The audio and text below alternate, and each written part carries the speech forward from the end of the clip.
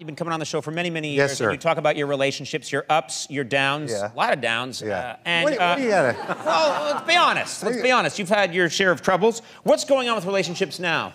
Right now, I'm, I'm, I'm dating somebody. It seems to be going well. I just got done dating somebody else. That was a little tricky. Yeah. It was Uh, why is that funny? Yeah. Well, you, you don't think I got game? I got game. Look at me. These are real glasses. Yeah. All right. yeah. He doesn't stand a chance with women. That's why he's wearing the glasses. exactly. Keep him off him. Yeah. All right, so here we go. What are we talking about? Oh, the last one. Yeah. Long distance situation. Long distance yeah, relationships, but those are tough. They are, but you have Skype now. Skype helps.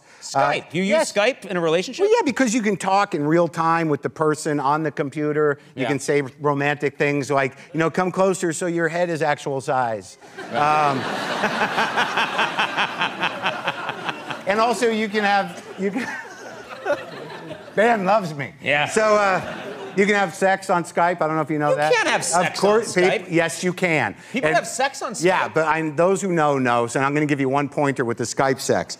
Just stay focused and don't look at the little box in the corner. That's that's the trick. The box, the box is it- showing you. Well, no. Here's what happens. You're like, okay, this is going well, and you're like, who's this sad masturbating guy?